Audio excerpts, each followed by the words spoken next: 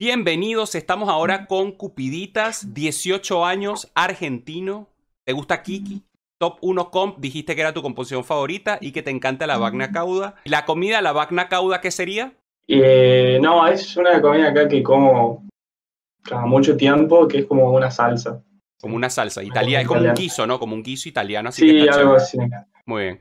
Y Cupiditas, ¿por qué Cupiditas? ¿Cómo nació tu nombre? Eh, yo antes tenía otros nombres así muy de, de cuando era chico, nombres muy infantiles, y después, bueno, me lo quise cambiar eh, porque ya no me gustaba más. Y Cupiditas en realidad es una palabra en latín que significa deseo, eh, codicia y ambición. Ah, muy bueno. Eres, eh, te eres codicioso, muy bien. Eres, eres autoexigente contigo mismo, ¿puede ser? Claro, puede ser, puede ser. Muy bien, me gusta.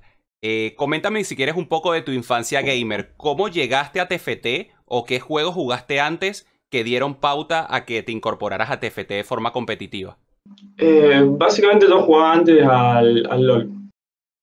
Em, fue mi infancia, prácticamente jugué un montón de tiempo en LOL y bueno, fue así también como lo conocí el TFT. Fue como un juego nuevo de la misma empresa que LOL, entonces le di la oportunidad y acá estoy.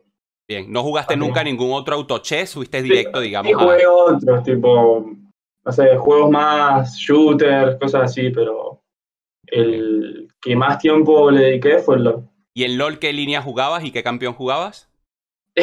jugaba jungla y jugaba Warwick. Warwick, Muy bien. ¿Jugaste con Warwick también en el set 1 en TFT?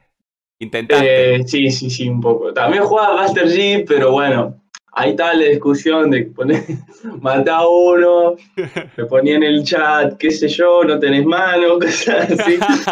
bueno. Tengo mano para presionar la Q, ¿no? claro, campeón facilito, presionar la Q nomás, el clic y listo. Perfecto. Bien, Cupiditas, ¿cómo, y en cuanto a la final, eres uno de nuestros dos representantes, me, quisiera que me contaras un poco cómo viviste la final Em, ¿Sentiste algún tipo de presión? ¿Sentiste que las emociones estuvieron un poco en juego? ¿Estabas preparado y estabas enfocado? ¿Qué nos puedes contar un poco de cómo viviste la final? Sí, sí, o sea, la, verdad, eh, estaba ansioso, primero por jugarla, tipo, para que pase, entonces como que estaba todo el tiempo pensando en la final, qué, va a pasar a la final. Eh, por otro lado, estaba confiado de, de, mí mismo, sabía que tenía las habilidades como para pasar. Y y nada, la, misma presión que, tenía de querer pasar y todo.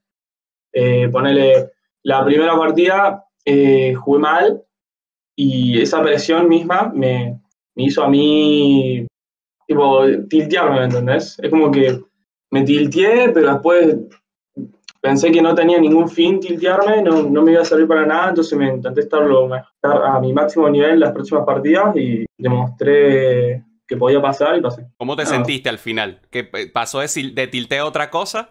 Claro, o sea, de, tiltearme a, a, encima, no sé, fue una partida, la, creo que la que jugué con G, que cada, tenía 10 de vida y cada ronda que ganaba, el, G a 1 de vida, ¿me entendés? Pegando el último básico.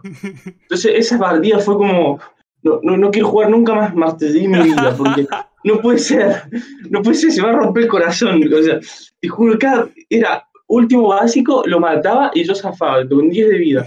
Cada ronda así, nada, Muy bien, y sucedió, y sucedió Master G. Era allí, era allí, Cupidita.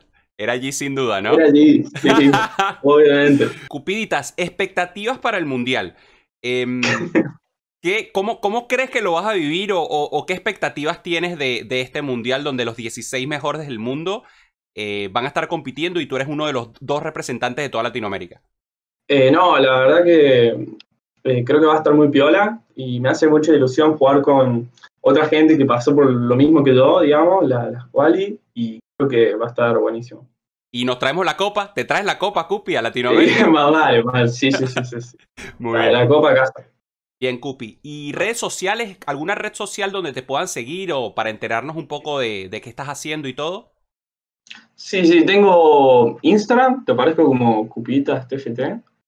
Y también tengo Twitter, que es lo que más uso últimamente, que aparezco como arroba Cupiditas5. Cupiditas5 en Twitter, perfecto.